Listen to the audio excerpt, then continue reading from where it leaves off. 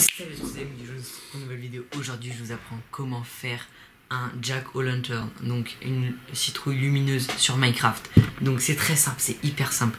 Je pensais que ça allait être plus difficile honnêtement. Donc on se retrouve sur Minecraft, sur notre monde habituel où on fait n'importe quoi. Et là, donc c'est très simple. Donc un Jack O'Lantern, c'est ça. C'est tout simplement une citrouille qui fait de la lumière. Voilà, c'est hyper simple. Du coup, il vous faut juste une citrouille et une torche, tout simplement. On va sur notre table de craft, on prend la citrouille, on la met au milieu, on prend notre torche, on la met en dessous. Ça nous fait une jack lantern. Une citrouille lumineuse, on peut poser, mais n'importe où.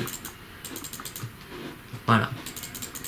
J'espère que la, la vidéo t'a plu. Si c'est le cas, n'hésite pas à liker, à t'abonner. Si t'as des idées de vidéos pour m'aider, n'hésitez pas à les dire dans les commentaires. Ça m'aide beaucoup parce que j'ai pas énormément d'idées. Merci encore et ciao